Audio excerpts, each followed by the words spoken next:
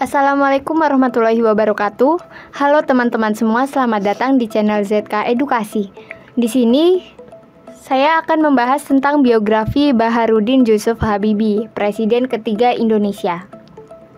Presiden ketiga Republik Indonesia Baharudin Yusuf Habibie lahir di Parepare, Sulawesi Selatan pada tanggal 25 Juni tahun 1936.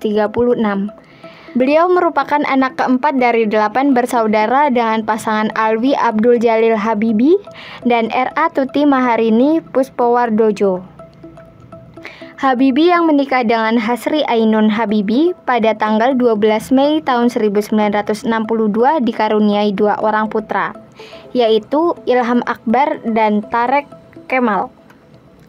Masa kecil Habibi dilalui bersama saudara-saudaranya di Parepare, Sulawesi Selatan. Sifat tegas berpegangan pada prinsip telah ditunjukkan Habibi sejak kekanak-kanakan. Habibi yang punya kegemaran menunggang kuda ini harus kehilangan bapaknya yang meninggal dunia pada tanggal 3 September 1950 karena terkena serangan jantung.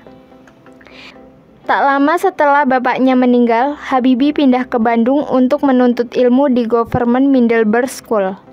Di SMA, beliau mulai tampak menonjol prestasinya, terutama dalam pelajaran-pelajaran eksak. Habibi menjadi sosok favorit di sekolahnya. Setelah tamat SMA di Bandung tahun 1954, beliau masuk Universitas Indonesia di Bandung, sekarang ITB. Beliau mendapat gelar diploma dari Teknik School Jerman tahun 1960 yang kemudian mendapatkan gelar doktor dari tempat yang sama pada tahun 1965.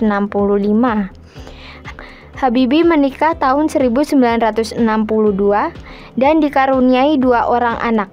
Tahun 1967 menjadi profesor kehormatan atau guru besar pada Institut Teknologi Bandung. Langkah-langkah Habibie banyak dikagumi, penuh kontroversi, banyak pengagum namun tak sedikit pula yang tak sependapat dengannya. Setiap kali peraih penghargaan bergengsi, Theodore van Karman Award kembali dari habitatnya Jerman, beliau selalu menjadi berita. Habibie hanya setahun kuliah di ITB Bandung, 10 tahun kuliah hingga meraih gelar Habibie hanya setahun Habibie hanya setahun kuliah di ITB Bandung, 10 tahun kuliah hingga meraih gelar doktor konstruksi pesawat terbang di Jerman dengan predikat summa cum laude. Lalu bekerja di industri pesawat terbang terkemuka MBB GmbH Jerman sebelum memenuhi panggilan Presiden Soeharto untuk kembali ke Indonesia. Di Indonesia, Habibie 20 tahun menjabat Menteri Negara Ristek atau Kepala BPPT, memimpin 10 perusahaan BUMN. Industri tragis dipilih MPR menjadi Wakil Presiden RI dan disumpah oleh Ketua Mahkamah Agung menjadi Presiden RI menggantikan Soeharto.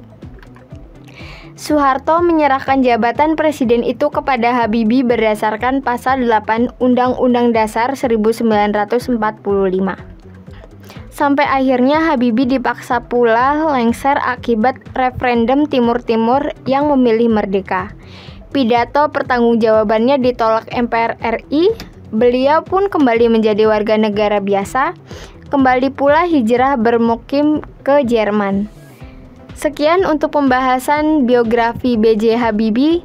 Semoga bermanfaat untuk kalian semua. Jangan lupa like, komen, subscribe, serta nyalakan lonceng notifikasi untuk mendapatkan info penting lainnya. Terima kasih. Wassalamualaikum warahmatullahi wabarakatuh.